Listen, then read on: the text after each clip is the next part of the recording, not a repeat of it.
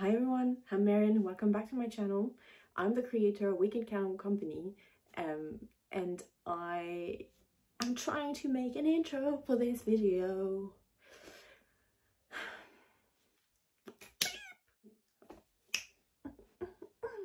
The creator of Wicked Candle Company. I'm the maker behind all the candle you see and all the tutorial that I post on this channel.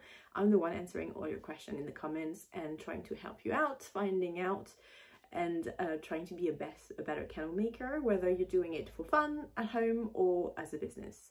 Today's video i'm preparing a large order of decorative candles. So i'm using almost all the silicone mold that i own um, that i've wicked and i am preparing a big batch for a wholesale order that i received for a new stockist. In london so today i'm taking you behind the scene of making candles of that volume. So probably roughly 25 25 to 30 candles that I'm making in one go, um, what I'm using, um, how I fix some problem because you'll see some molds already. Shell candle kept leaking on me.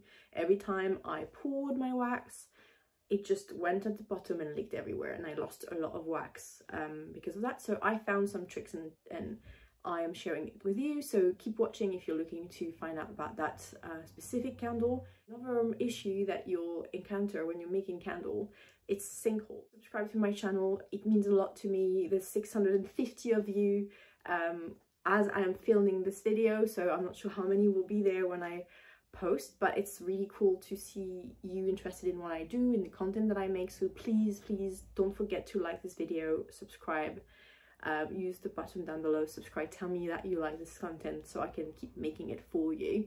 And yeah, thank you very much. Thank you.